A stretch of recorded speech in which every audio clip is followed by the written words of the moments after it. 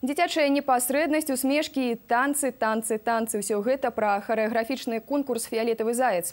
У Магілёве ён праводзіцца ў шосты раз. Яго ўдзельнікі – выхаванцы дзіцячых садкоў Кастрычніцкага раёна Магілёва. З маленькімі артыстамі сустрэлася Алеся Рыбалка.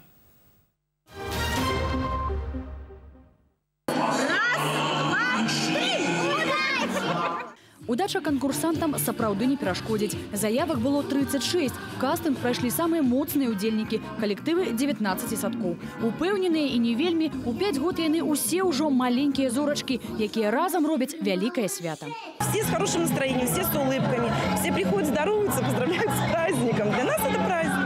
Фіолетовый заяц вітаў малых не толькі са сцэны. З добры дзясятак іх было і на выставе, якую рыхтавалі садкі. Гэта як дадатак да харэаграфічных нумароў. Апошнія, дарэчы, ураджваюць сваёй разнастайнасцю. Адначасова за кулісамі бары, непрыдворныя дамы, кошкі і нават каралі танцполу.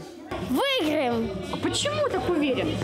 потому что мы будем хорошо делать.